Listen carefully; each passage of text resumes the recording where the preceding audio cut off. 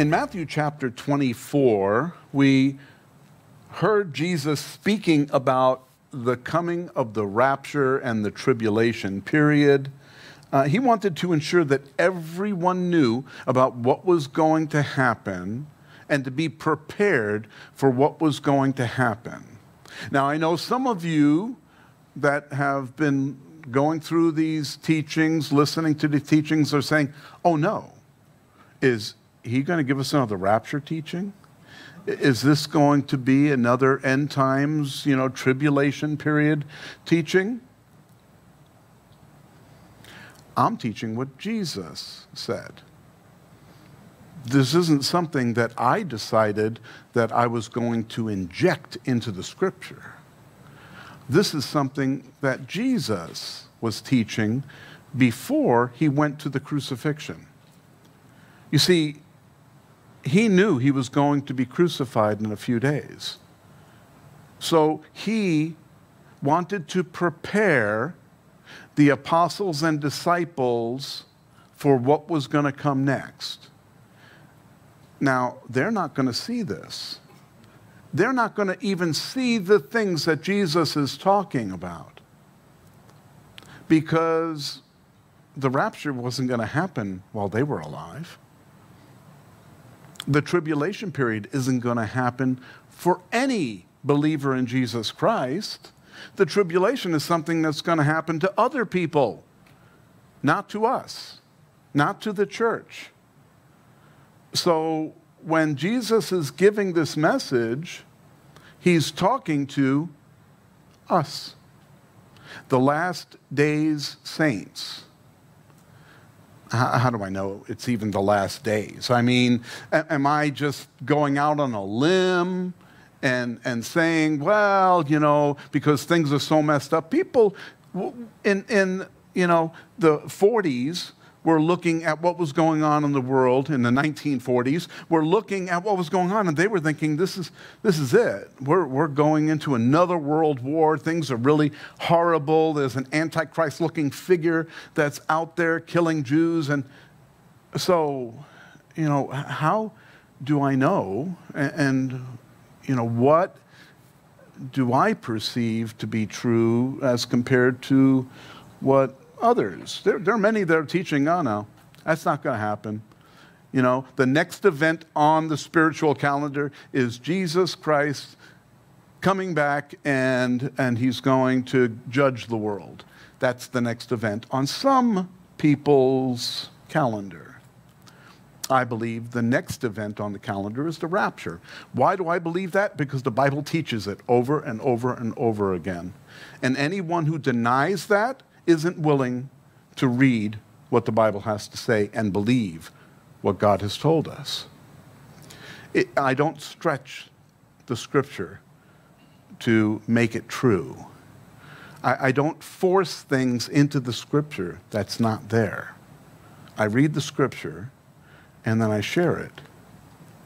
And the Lord was sharing this with his disciples and apostles because he wanted them to be sure of their salvation, to be sure of what was going to happen next in their lives, to be sure that every person that has died a believer in Jesus Christ since the time Jesus gave this message, every one of them is with him right now. When we die, our bodies stay here, thank goodness, and our spirits, our souls go to heaven. Our last breath on earth is followed by our first breath in heaven, and I don't even know if we need to breathe, but we're there in heaven in the presence of the living God. And so every one of the disciples that heard this message there on the Mount of Olives, as Jesus was teaching it, they're living in eternity already. They're there experiencing the things that Jesus taught. We, on the other hand, are still here, most of us. All right, looks like all of us. We're still here. Okay? We're, we're living here on the earth. We are experiencing the very things Jesus is talking about. We have the destination, it's the rapture of the church. That's the next event, that's the next thing happening. So, if you're taking a trip cross country, and I've been talking uh, to you, I just got back from Boston, okay, um, yesterday. Um, you know, I took a trip back I was in a coma half the time from wearing a mask on a plane. But when I got back, I was able to breathe again, got home, and, uh, and, and I was okay. But a lot of the trip really made me see things from a different perspective, uh, from a 38,000 foot perspective. You're traveling cross country, picturing a destination in your mind. Okay, and, and uh, I, you know, I say Boston, but let me, let me picture my town, my hometown in Long Island, um, Hauppauge. It's a little town in the middle of, smack in the middle of Long Island. And that's my destination. That's where I'm going, okay? And I start out here driving cross country, and I go through New Mexico. Once I make it through, I say, Thank goodness, man, that was boring. And keep going as I'm going, and I see all these interesting sights as I'm going, but really, all of this is just places I'm passing through to get to my destination. Hauppauge, that's where I want to go. Long Island, I want to get there. And see, as soon as I get to New Jersey, I know that I'm getting close I, I can now start anticipating the things I'm going to see. And, and I go through and I cross over the bridge or take the Lincoln Tunnel. And, and here I am entering into New York. Oh, there's the Statue of Liberty. And I know that I'm seeing landmarks. I know I'm close now. I know I'm close. I, I, can see Manhattan. I can see the Empire State Building. Here I am entering into New York. I'm going through Queens. I'm going through the places that I grew up in the city. And now we're heading out onto Long Island. And as I'm taking it, I can see the signs telling me, okay, Suffolk County is coming up. And, and you know, now entering Suffolk County. Oh, I'm real close. I'm right there. And then Hauppauge, next three exits, Hauppauge. You know, and, and we lived on the first exit, exit 56. Got, get right off, and we're right there. We're right off the freeway there. And I know that I'm going to arrive at my destination.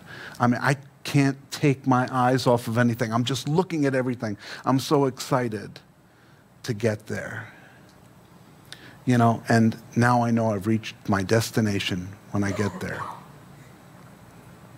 We're living in the days where we have seen so many things. Many of us have seen decades and decades of things, events.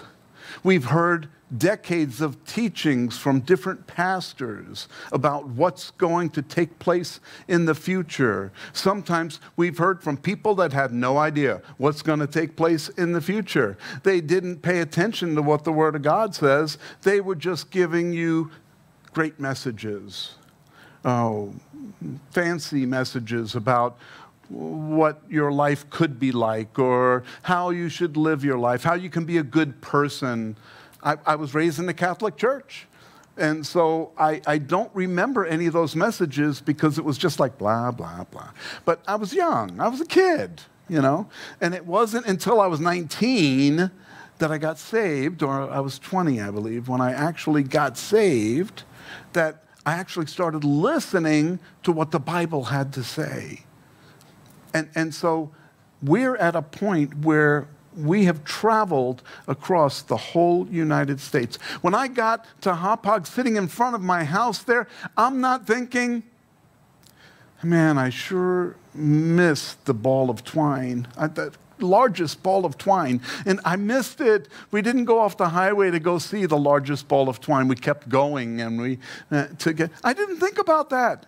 I was there at my home. I'm, I'm just awed by the fact that I made it across country. I'm not thinking about everything I passed by along the way. We're at that point. We're at that point where now we see all the signs around us, everything that's taking place right before our very eyes. These are the things we were told that we can expect to see before the return of Christ. Who said that? Jesus. Jesus said it. No one else. Well, some other people too, but Jesus was the one that said it. And so, as we trust Him with what He said, we can now prepare for what's coming next. It's a recurring theme in the Bible about the rapture of the church. And so, if I've been talking a lot about it lately, it's not because almost three years ago, when I started this chronological study through the Gospels, I wasn't thinking, man, I can't wait to get to July of 2021. It's December of 2018. I'm starting this study. Oh man, July 2021 is going to be great. I'm going to be teaching about. I wasn't thinking that. I was thinking, Lord, you can come back at any time. He could have came back the first week I started this study. He didn't. So we're still here listening to this message today. And it's even more imperative today because we're one day closer to Him returning. And this message is another one of those that He's bringing to us today. Today's message is titled Right or Left. We continue our chronological study in Matthew chapter 25 and verse 1, where we read, Then the kingdom of heaven shall be likened to ten virgins who took their lamps and went out to meet the bridegroom. Here's another picture of the rapture of the church. Ten virgins, they are preparing themselves for the arrival of the bridegroom. Who's the bridegroom? Jesus. He's coming. And they're preparing themselves. That's the church. The ten virgins are the church. They're preparing for his imminent return, his imminent arrival. And they have lanterns. They're lighting the way. When he returns, there's, they're going to have a procession of these lights that are going before him. This is part of Jewish tradition and, and weddings, and this is what they do. But these lanterns weren't all filled with oil. Some of them were filled with oil, and some of them weren't. But they're planning on going out. Now you have to think that these are 10 virgins, 10 believers, supposedly, that are prepared for his arrival. Jesus is going to tell us why they weren't prepared, why they weren't all ready. Verse 2 Now, five of them were wise, and five were foolish. And those who were foolish took their lamps and took no oil with them, but the wise took oil in their vessels with their lamps. But while the bridegroom was delayed, well, let's just stop at them taking oil in their vessels. They were prepared. Five prepared, five weren't prepared. So they need oil to light their lamps. As believers, we need the Holy Spirit, which in the Bible is always related to oil oil is a picture of the Holy Spirit. And so the Holy Spirit is our oil because that's what lights us up. Without the Holy Spirit, we're not lighting up. We're lighting up with our own power, our own ability, but not the ability that God wants to give us. The Holy Spirit is what lights us up. And so, five of these virgins have the ability to light up because they have the Holy Spirit, but five of them don't. What are they doing with the other five? They all got lanterns. You see, everyone has a lantern. All of us have the ability to have the Holy Spirit within us. It's whether or not we have the Holy Spirit, whether or not we have the oil that we can actually illuminate, that we can actually shine the light. That's what they were supposed to be doing. Illuminating the way so that people can see the bridegroom, lighting up the place so that people know where the bridegroom is. You see, they're going to go before him and light the way, and people are going to see, oh, look at the lights. That must be the bridegroom. In the church today, we are those lamps. We're the ones that are lighting the way for the bridegroom. But if we don't have the oil, what good are we doing? We have the lantern, if you light a lantern without oil, all you do is burn that wick, it dries up, it's no good for anything again. And so you need to have the oil to actually have the lamp function the way it's supposed to function. These virgins without the oil were hanging out with the virgins with the oil. In the church, you're going to have people that don't have the oil hanging out with the people that do have the oil. They're going to people, they're going to be people that are saved, that know the Holy Spirit, that receive the Holy Spirit into their lives. And you're going to have those people that come to church because it's a good place to be. They have good messages, and we have good snacks. we do. We do. We make sure because we want to bless those that have the Holy Spirit. We bless them with good snacks and bad coffee. So, you know, when you have hope in the future, you want to prepare yourself the best way to get there.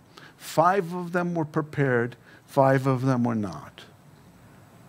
Many churches are not giving the oil out. They're not giving people the oil that they need to be useful in life. All of us need the oil. But without it, we're not, if you have a shortage of oil, you're going to be in trouble. You're not going to be able to accomplish the things that we're called to accomplish. We're, we're called to accomplish the things that God wants us to do uh, these virgins without the oil, they can't. They can't accomplish it because they don't have the oil. They don't have the Holy Spirit. But while the bridegroom was delayed, they all slumbered and slept. And at midnight a cry was heard Behold, the bridegroom is coming. Go out to meet him. They had all day to get the oil. They had all day to go out and get some oil and to be prepared. We have our whole lives to prepare for his coming. Our whole lives. Up and if you have not received Jesus Christ as Lord and Savior today, or up until today, you still have today. Today could be the day of salvation. Those of you watching online, if you have never received Jesus Christ as Lord and Savior, Today can be the day. You don't need to come to church and ask me to help you. You just ask the Lord, and He will be there for you. When I received Jesus Christ, I was alone, by myself. And I asked Him to come into my life. And at that moment, when He did come into my life, I knew beyond a shadow of a doubt that He was Lord. It was as if Jesus came, sat on the edge of my bed, and read the whole Bible to me. I knew everything was true. And from that time on, my life was changed. So you don't need to have someone lead you in a certain prayer at a certain time in a certain way with the right words. Here are the words Help, Lord. I need your help. Forgive me. And, and help me, Lord. Come into my life and save me. And those are the right words. You see, I, I know that there are many other words that other people use, but I know that I'm a sinner in need of a Savior. All of us do.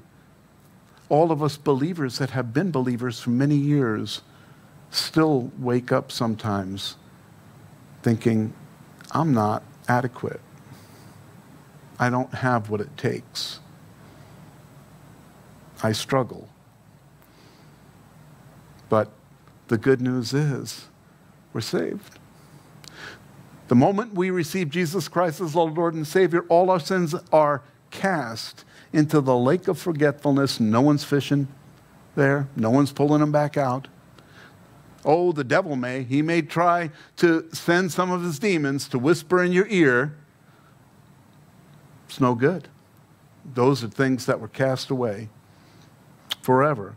But the proof, the evidence that we have a changed life is a changed life. It's living the life that Jesus calls us to live. Not one of perfection, but one of change. I've changed from who I was into who I am today. Not good enough. I still got a lot of changing to do. But the change is remarkable because it has nothing to do what I've done for myself. It's what he did for me.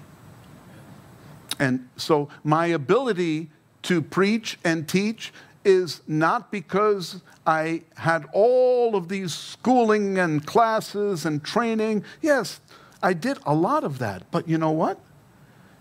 It's the Holy Spirit that gives each one of us the ability to speak, to bring the word. Remember, Jesus told the apostles, hey, don't even prepare for what you're going to say when you go before the magistrates, when you go before the Pharisees. Don't even prepare. I'm going to give you the words to speak when that time comes. That's still true today. When we listen to His Word, when we read His Word, and we put it inside our hearts, when He wants to bring it to our mind, He will. He'll say, Oh, remember what it says here? Share that with them. Just come right out and share it with them. I was talking with a friend back in Boston, and um, he and I were just having this private conversation between ourselves on, on this charter boat out looking at lighthouses. And we were sharing about the, the things that were going on. And I know you're thinking, well, why weren't you paying attention to lighthouses? Hey, there's a lot of water in between the land and the lighthouse. We had lots of time to talk. So we're sharing about you know, the things that God was doing in the world, things that are going on in life and everything. And, and I was just sharing some of the things that God brought to my heart. And then the next night we had a barbecue together and I was sharing with him some other stuff. And, and, um, and so he took me out to lunch. Me and Michael, we went out to lunch with him on, on Friday. And we're out at this place, we're talking and everything. And he said, You know, Rick, I want to share with you something that was in Greg Laurie's um, devotional this morning. And so he read me Greg Laurie's devotional on Friday. And every single thing that he and I had talked about for the previous few days was in that devotional. Every single point was in that devotion. He said, Look, look at this. I said, Of course. I called Greg last night. And I said, Hey, you know, I have a good. No, I, it's just, that's how the Lord works. You know, He wanted to confirm what we were talking about, and it just so happened Greg Laurie was the confirmation of everything that we had been talking about. Isn't that so cool? So makes you want to go on vacation in Boston, doesn't it? So, so here, um, here are these virgins that are arising and trimming their lamps. They're getting their lamps prepared to light. And the foolish one said to the wise, verse 8, Give us some of your oil, for our lamps are going out. But the wise answered, saying, No, lest there should not be enough for us and you, but go rather to those who sell and buy for yourselves. And while they went to buy, the bridegroom came, and those who were ready went in with him to the wedding, and the door was shut. And afterward, the other virgins came also, saying, Lord, Lord, open to us. But he answered and said, Assuredly I say to you, I do not know you. Watch therefore, for you know neither the day nor the hour in which the Son of Man is coming. So here are these unprepared virgins. They were asking of the others for oil. No one else is getting you into heaven. I don't care how close you are with the pastor, with his wife, with the people in the church. I don't care how close you are. I don't care if you're related to them. It doesn't help. That doesn't get you in. When we're lining up for the plane, getting on, oh, I'm C12 and that plane's going to be full, right? But I got my boarding pass. I'm going to be on the plane because I've got my boarding pass. Now, I may be sitting in a middle seat. A middle seat. That may be where I'm going because I'm in the C group. You know. Now, for those of you that don't fly Southwest, you have no clue as what I'm talking about. But man, you're grouped according to which group you're in, and then, then you go on there. And, and man, I try to get on there and get a good seat, but I, I, I just should pay the extra and just get the early bird, you know. But anyway, so you get on the plane at C12, and guess what? There's still a seat. You still get on the plane. You're still going to your destination. You see these virgins that fell asleep. Oh, hold on. They all fell asleep. They were all taking a nap, it says. And then at midnight, the bridegroom came. They didn't know. This is like your plane is delayed. Oh, weather delay. Can't get on the plane. The plane is delayed. So you're just going to have to wait it out. And when we're ready, we'll let you know when the plane's going to take off. And everyone's sitting there on the floor. If you're taking a red eye, there's nothing open. And you're just sitting there in the airport with your mask on, can't breathe, and, and you're just waiting it out, waiting for, you know, them to give you the word. And you never know when that's going to happen. And all of a sudden, huh, boarding. We're going to be boarding. Oh, boarding. Oh, how exciting. And then all those people in the A group line up. Hey, here I am. And the A group goes on.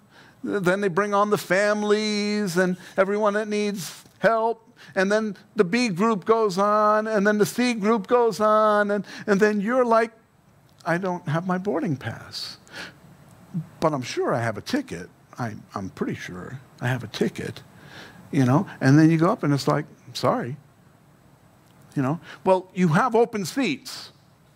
I know that you have open seats on the plane. Yeah.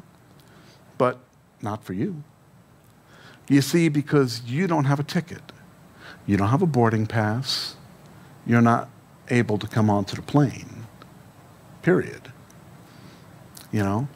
Well, I have a boarding pass from last week. Doesn't count. See, a boarding pass for any other plane ain't going to get you on this one. And that's a great picture of what happened to these virgins. They didn't have what it took to get to where they wanted to go. They wanted to go. They were asking, hey, friend, give me the oil. And it was like, sorry, we're not going to give you our oil so that we may both miss the wedding. We've been prepared. And those that were prepared went in, and those that were not didn't. And then in verse 13 it says, Watch therefore, for you know neither the day nor the hour in which the Son of Man is coming. That's for us. That's for every person on the face of the earth, really. Watch, because you don't know. Now, many of the people that don't even come in, they don't want to hear this, they don't believe it, they don't want to hear anything about it. So they're not going to listen to that. But there are people that are in churches today that hear that and don't think it applies to them. I'm a good person. I, I, do all the right things. I am better than my neighbor. I pick up my dog's poop. I, I'm talking about dog poop on the stage here.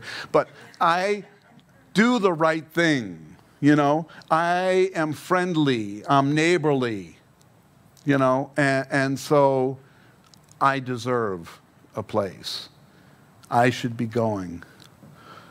Well, that's not the qualifications. That's not how we get to heaven. In verse 14 through verse 30, we read a parable that we read recently. So I'm sorry for you that weren't here for that. I'm going to skip over it, but I will paraphrase real quick. Uh, we did this weeks ago, and, and so why are we jumping over it? Because Matthew put this here. It wasn't part of the teaching at the Mount of Olives.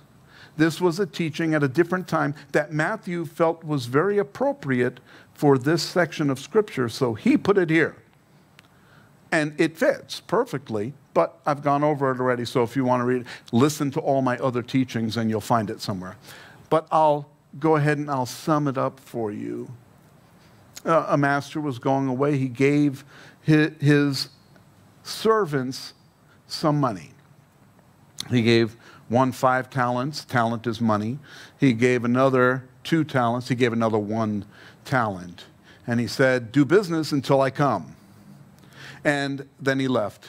And when he came back, the one that had five said, Hey, I've earned you five more. Here you go. I doubled your money. Oh, well done, good and faithful servant. And then the second one that had two, uh, he also doubled that. And so he was seen as faithful. Well done. Good job. But the guy that was given one, well, he buried it, he hid it, and then when the master came back, he said, Here, here's your one back. You know, because I know that you're a mean guy and I didn't want to lose it and a bad investment or something like that. I just, you know, so here I wanted to give back what's yours you know, because I know that you make money off of what's not yours, but, you know, here, this is yours, and I'm giving it back. And he said, if you know that's the kind of guy I am, why didn't you at least put it in the bank, earn some interest so you had something to give back, some increase with what I gave you? And that guy didn't make it. He didn't hear well done. He was sent to the place where there's weeping and gnashing of teeth.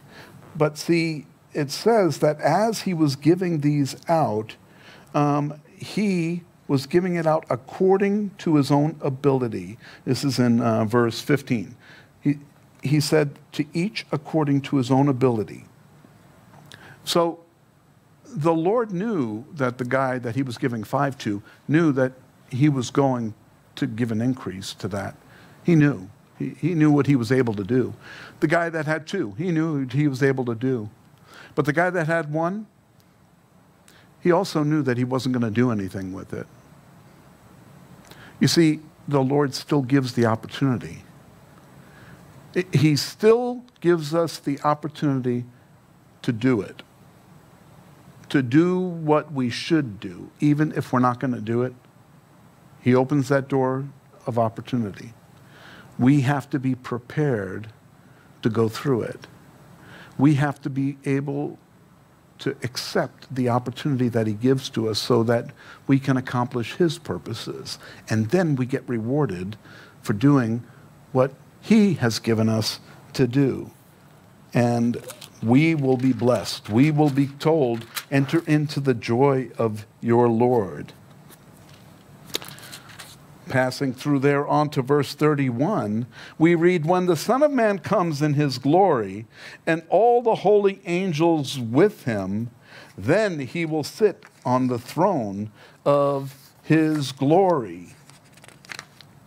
You know, this is one of those times where we are thinking, where is the throne of his glory? Well, this is not the heavenly throne. This is speaking of an earthly throne. When he comes, I mean, he comes here.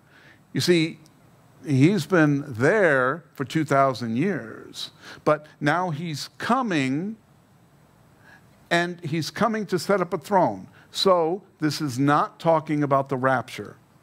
If it was talking about the rapture, we wouldn't be talking about setting up thrones.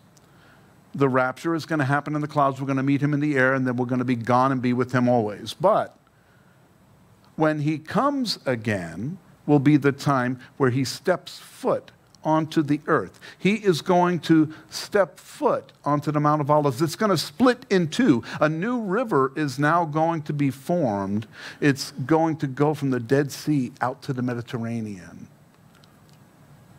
a hotel wanted to build on the Mount of Olives.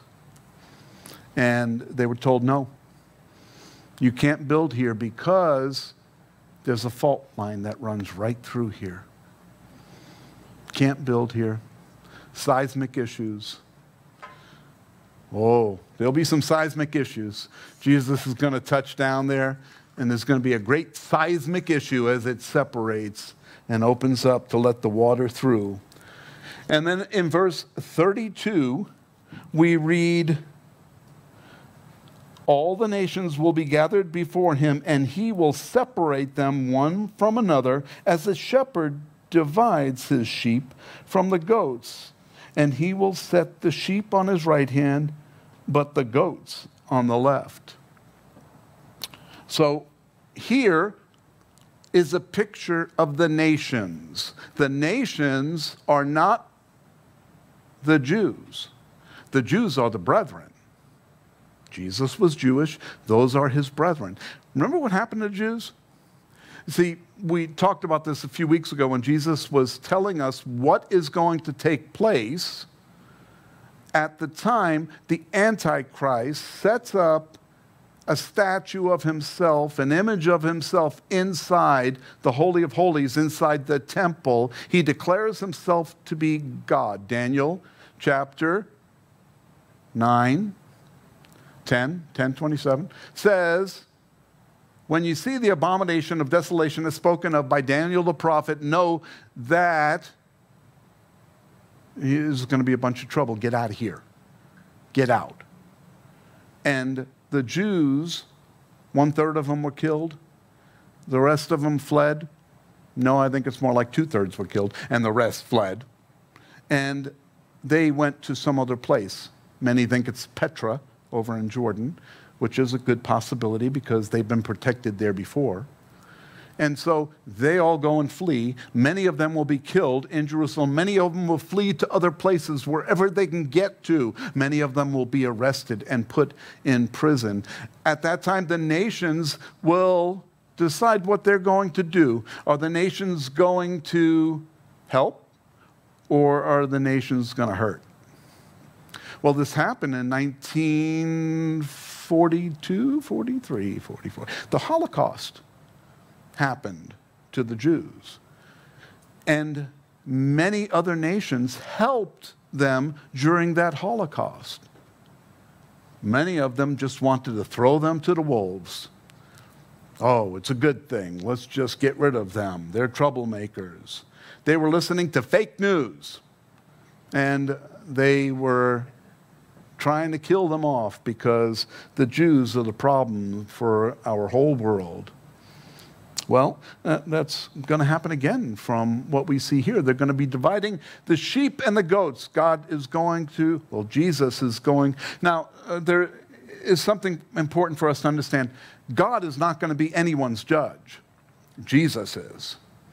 See, God doesn't judge, Jesus will be the judge. There's the Bema Seat judgment, there's the great white throne judgment. None of those are these. Okay? Uh, that's we know the great white throne judgment is in heaven.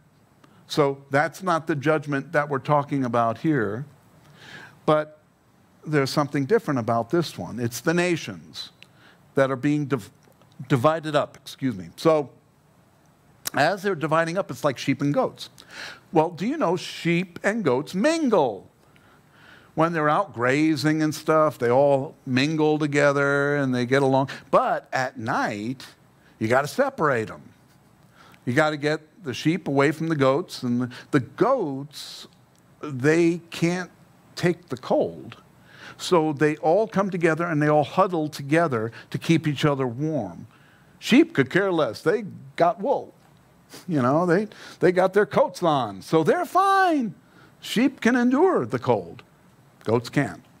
So you have to divide. A shepherd divides those sheep and goats at night to keep them separate, to keep them um, protected. And so here, Jesus is dividing the nations into two groups, not three, not sheep and goats and other, sheep and goats. That's it. Okay? And he's dividing them up. The goats are on the left, the sheep are on the right.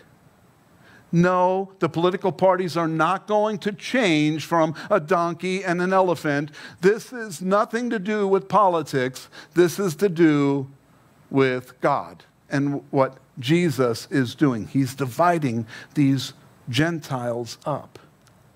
And they aren't even sure at this point what's going on. In verse 34, we read, then the king will say to those on his right hand, Come, you blessed of my father, inherit the kingdom prepared for you from the foundation of the world. For I was hungry, and you gave me food. I was thirsty, and you gave me drink. I was a stranger, and you took me in. I was naked, and you clothed me. I was sick, and you visited me. I was in prison, and you came to me. And then the righteous will answer and say, Lord, when did we see you hungry and feed you, or thirsty and give you a drink? When did we see you a stranger and take you in, or naked and clothe you? Or when did we see you sick or in prison and come to you? And the king will answer and say to them, Assuredly, I say to you, inasmuch as you did it to one of the least of these, my brethren, you did it to me. You see, these are those that enter the tribulation period. The Gentile nations will enter the tribulation period. The rapture happens first. There's no mention of the church at this time because the church isn't here. The church is going to be taken off the face of the earth. So the rapture has happened, the tribulation period starts, and during the first half of the tribulation period, everything seems to be going okay. The Jews are tricked into believing that the Antichrist is their Messiah. He allows them to rebuild the temple. And then he declares himself to be God. They realize they've been duped and they run. Many of them are killed. But the nations then Many of them will help, will be the ones to go feed them, clothe them, provide what they need, visit them in prison, and take care of them. Who are those Gentiles? It doesn't say they're saints. You know why? Because we're all in heaven. The saints have been raptured, we've been taken away. So they're not saints, but they aren't ain'ts either. You know, those that don't do anything good for the Lord, those who don't believe in Jesus, those who don't help his people. These are the ones that help. And see, they didn't even know that they were doing it for him. They just knew that they were doing what was right. And he, Jesus, reveals, You did it to my people, my brethren, you're doing it to me. You were showing what you believe in your heart by what you did. Your actions were evidence for your salvation. That's true for us today. Our actions are evidence of our salvation. If we're saved, there's going to be evidence by what we do with our lives, what we talk about, who we talk to, what we share, how we love, how we help others. All of that it is not what causes us to be saved, it's because we are saved. It's the evidence of our salvation. Works didn't get us saved. If you worked really, you went to Africa as a missionary and, and there were hundreds of people saved because you went there and you came back and, like, oh yeah, there were hundreds that gave their life to Christ. That had nothing to do with your salvation. That is because you are saved, if that's what you believe. But if you believed that doing that got you a ticket into heaven, you got the wrong boarding pass. That's not going to get anyone into heaven. But we do it because we know it's the right thing to do and that's why these were rewarded for what they did. Oh, now let's hear about the other group. Then in verse 41, he will also say to those on the left hand, Depart from me, you cursed, into the everlasting fire prepared for the devil and his angels. Pause there for a second. He's sending them into everlasting fire not prepared for sinners. He didn't say, You're going to everlasting fire because you're a sinner, and that's what you earned. He didn't say that. He said the everlasting fire was prepared for the devil and his angels.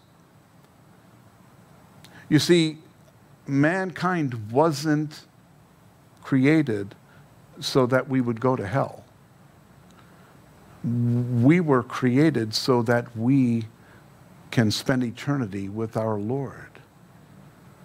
So that we can have a relationship with Him and He can have a relationship with us.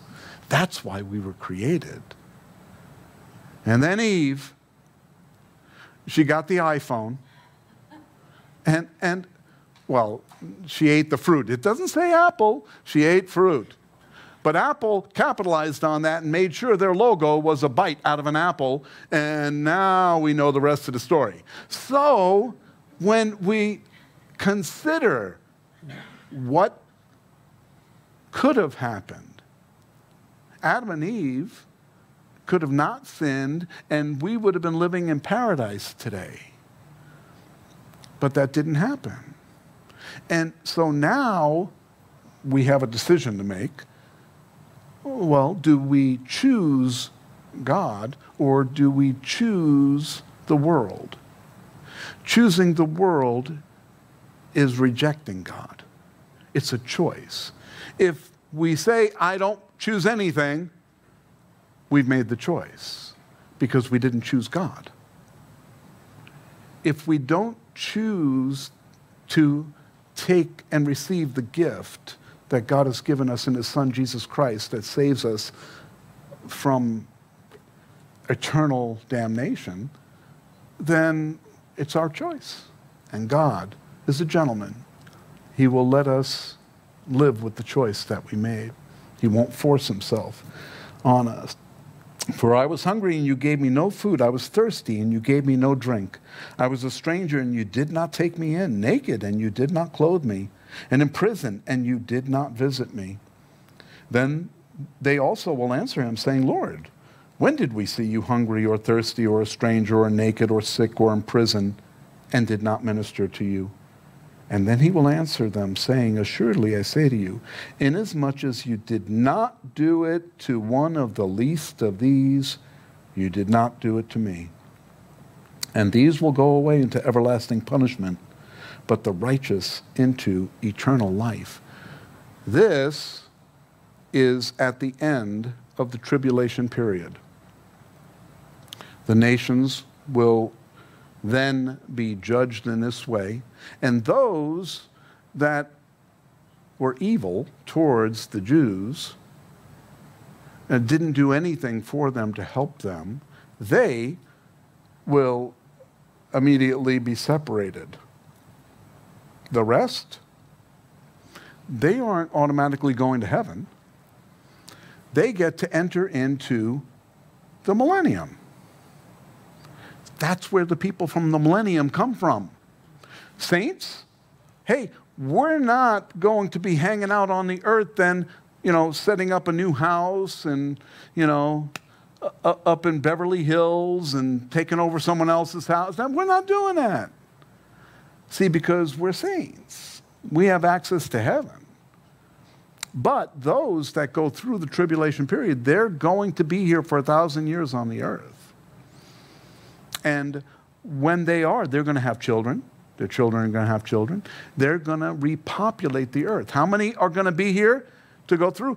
At the time of this judgment, there's probably going to be 3 billion people. We, we know that there's going to be many killed because of what takes place during the tribulation period. Almost 50% of the population of the earth is killed during that time.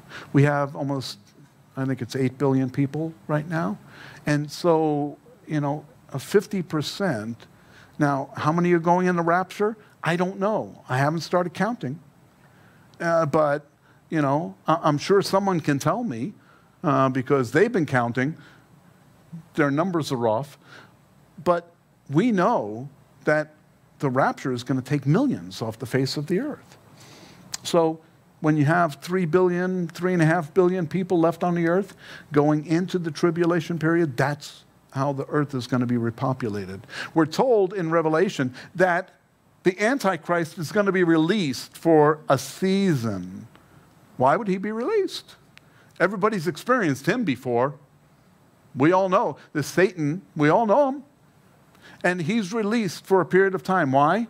Because he's going to go out and he's going to get a chance to deceive those people that were born during the tribulation period that have never had any other knowledge except living under the rule of the king. And he's going to go out and deceive. And you know what?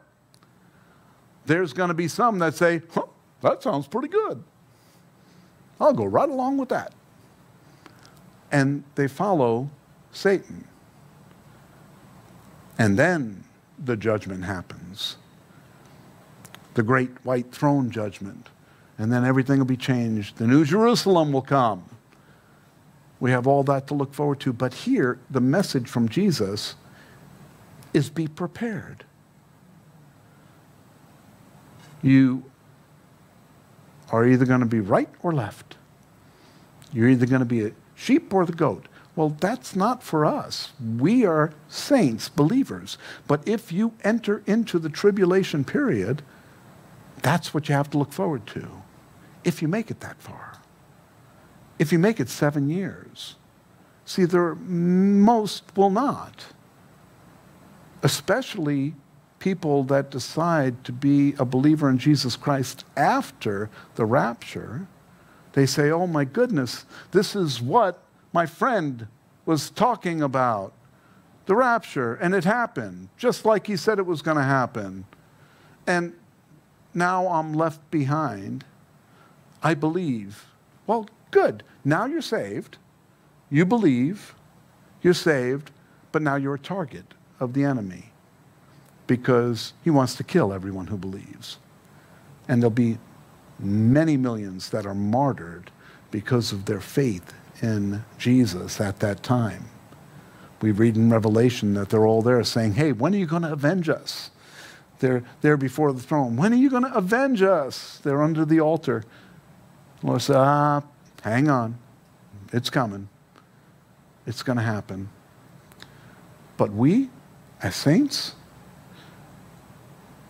I don't do altar calls very often, almost not non existent, because I don't have a problem with altar calls. We're a small church.